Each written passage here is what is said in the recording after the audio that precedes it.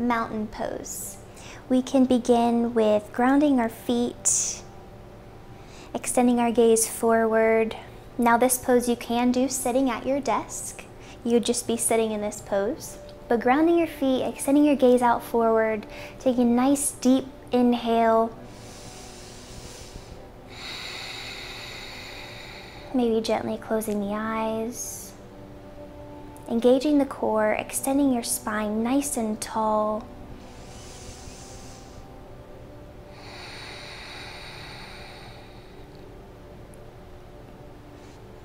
On our next inhale, sweeping the arms up overhead, we'll interlace the fingers, bringing the pointer fingers together and the thumbs together. We'll go to the left side, getting a nice stretch on our right.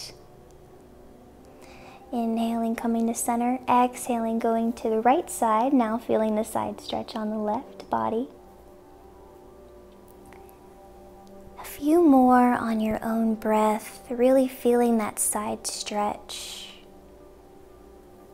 Engaging the core.